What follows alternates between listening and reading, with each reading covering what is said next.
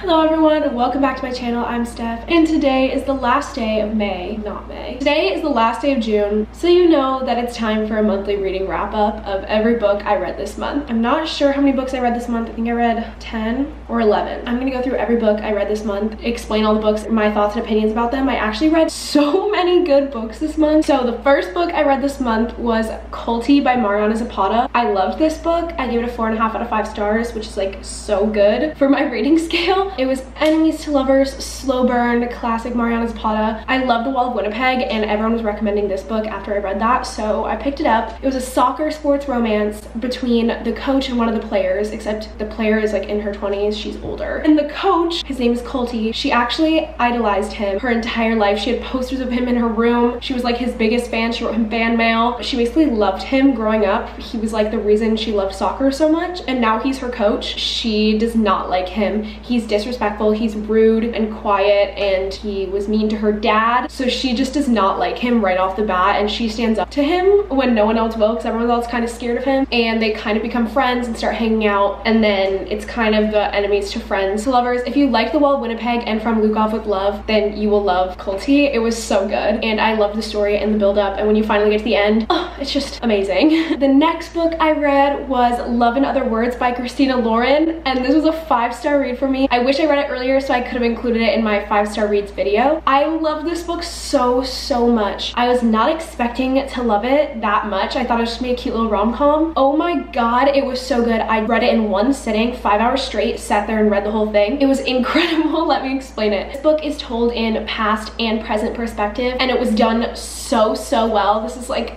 I loved it so much. So basically, Macy, when she was young, her mom passed away, but she left like a whole list of things for Macy's dad for like advice to give Macy as she grew up and like to refer back to this list anytime she needed her mom's advice. And one of the things was to make sure that they had a place they could go when she needed like an escape. So they bought a lake house. They would go there every weekend and every weekend she would hang out with this little boy she met there and his name was Elliot. They were in elementary school when they met. They kind of just understood each other and they became like instant best friends. So in the past chapters, you're watching them as kids be best friends and slowly form a relationship relationship. And then the next chapter in the present is them no longer together, no longer friends, no longer talking, but she runs into him and he's instantly drawn to her and tells her straight off the bat, like, I don't know why you cut me off all those years ago, but please, can we talk? Can we be friends again? She's hesitant. The present perspective is them re-falling in love, getting a second chance romance. I was so invested in the past and the present perspectives that I couldn't stop reading. I would get to the end of the past chapter and be like, oh, I need to read the present. And then I get to the end of the present chapter and be like, I need to read the past that I just read it in all one sitting. The build up to what happened and why they fell apart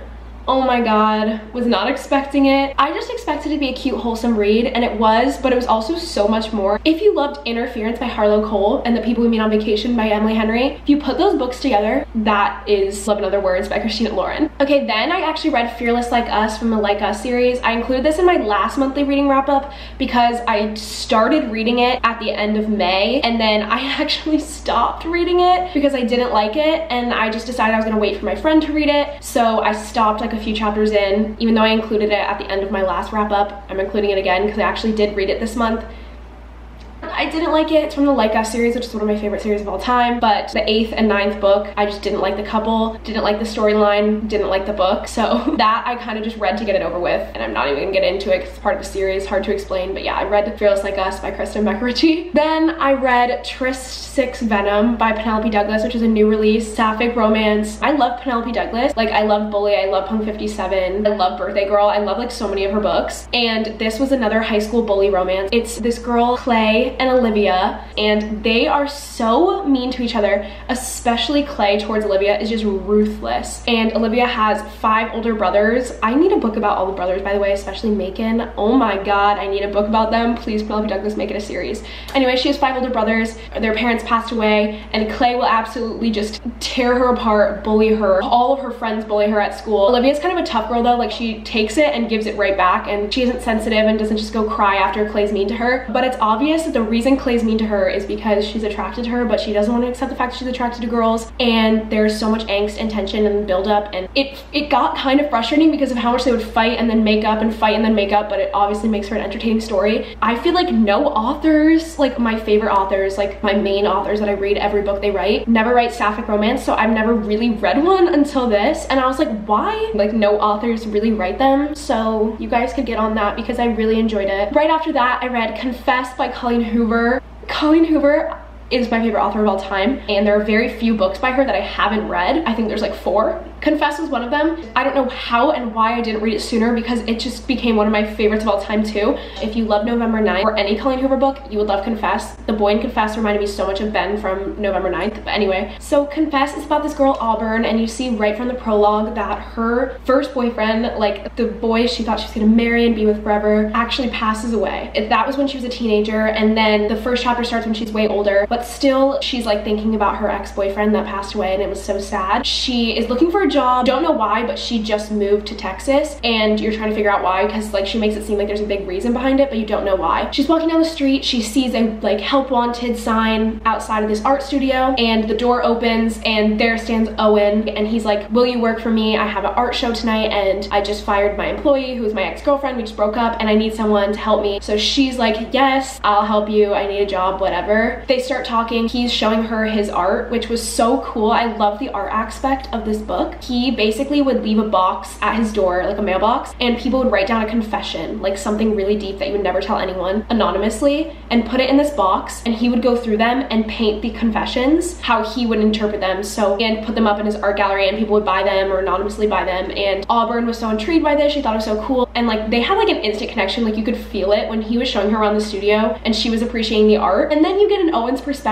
and in his head, he's like, I can't let her find out that I know her. And you're like, what? he knows her? And he is saying like I can't let her find out. Like I'll ruin everything if she knows. And then immediately I'm intrigued. Classic Colleen Hoover. There's drama with his family drama with her family a lot of drama with her family. Owen is very selfless and I really really love his character. I love him so much. It makes my heart hurt. And Auburn deserves the whole world. I feel so bad for her. Like she really does go through it. And the way that they ended up being connected I just really, really could not recommend this book enough. Please read Confess by Colleen Hoover. Then I got into a series. So I read a few standalones and I decided it was time. I made a decision at the beginning of the summer that this was gonna be the summer of reading series because with this channel, I feel like I constantly need to be reading standalones so I have new stuff to recommend. But I love series so much. It's like my favorite part of reading is getting so invested in a good long book series. So I said this summer, I'm just gonna read series. So I started the Fallen Men series by Giana Darling. I read Lessons Corruption, Welcome the Dark Side and Good Gone Bad, the first three books. They're not my absolute favorite. All three of the ones I've read so far, Insta Love, Forbidden, Age Gap, which I don't know how I feel about it. I wasn't like immediately drawn to read the next one. I decided to start reading the Born in Blood Mafia Chronicles by Cora Reilly because this has been on my TBR for like two years. I finally caved. I've read Sweet Temptation by Cora Reilly, which is like a spin-off of this series. It's just a standalone novel and I liked it. So I knew I would like this series. it's so good. I've read Bound by Honor, Luca Vitiello, I don't know how to say his last name, and Bound by Duty. So I've read the first like three books. One of them is technically a 0.5, but it was longer than the first book so I consider it a part of the series. So I read those three. If you like Mafia Romance, I'm sure you've already read this series. If you're new to Mafia Romance, I feel like this is a good introduction. But this is definitely a series where I had to just take a step back, turn my feminism off, and just let myself experience the book and not critique it that much because it's obviously Mafia Romance. The men are in charge. There's arranged marriage. There's a lot of like sexism. Like the girls don't really have a say in what they do. The guys are in charge. The dads kind of just arrange marriage their daughters as like a form of payment to save themselves and the girls are kind of just like used as literal like property. It's so annoying. Like reading it actually infuriates me and like the guys are like, oh, I have the right to claim my wife, like do whatever I want with her. But then the main guy always ends up like having that mentality, meeting this girl and having a soft spot for like the one girl. Reading the book in his perspective too, I really saw like how much he wasn't like what I thought. He's actually like in love with her, but it was just hard to read at first. Like it takes a little bit to get used to and get into because the girls are not treated right by everyone except other girls and their one guy. so it's really frustrating to read, but I love the mafia aspect of the protective, super dominant guy, and it is so entertaining to read. There's so much action and scenes where the guy has to save her and she has to save him, and there's drama, and I really, really am enjoying it. And there's so many books in this series. I know it's like two combined series, so I'm gonna have plenty of mafia romances to read this whole summer. But yeah, I just read those first three books, and I'm actually gonna start the fourth one tonight. So that is actually everything I've read this month. This video is probably gonna be a lot shorter than my other reading wrap-ups just because I read series, so I don't have to explain each individual book in the series. I've read so, so many good books this month. It was actually such a great reading month in terms of how good the books were. But yeah, that's the end of today's video. I hope you enjoyed seeing what I read this month. If you wanna follow me on my other social media, they're all linked down below as always, as well as my Amazon wishlist if you wanna send me a book. And I'll see you in my next video very, very soon. Bye!